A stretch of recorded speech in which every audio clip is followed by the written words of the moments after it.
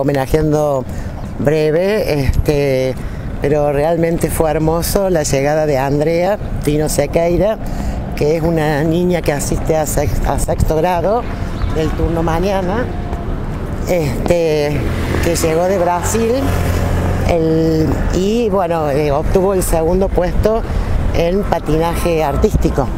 Bien, bien. Eh, donde participaron eh, siete naciones, digamos, era un, un proyecto, una participación de diferentes países de Latinoamérica.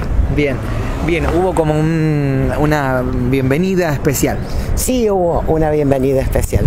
Emotiva también. Emotiva. Sí. ¿Cómo es Andrea? ¿Qué puedes decir?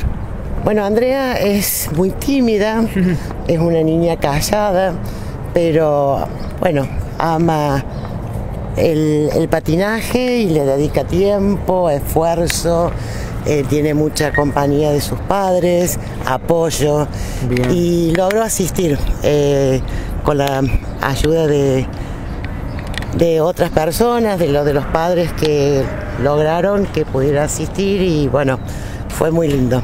Eh, los chicos lo siguieron en vivo y en directo a su participación. ¿Siempre que hay un alumno destacado en algún deporte hacen esto?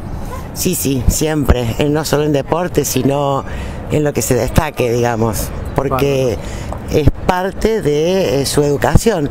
En la escuela, eh, digamos, comparte, o, las otras actividades se comparten con las institucionales o escolares.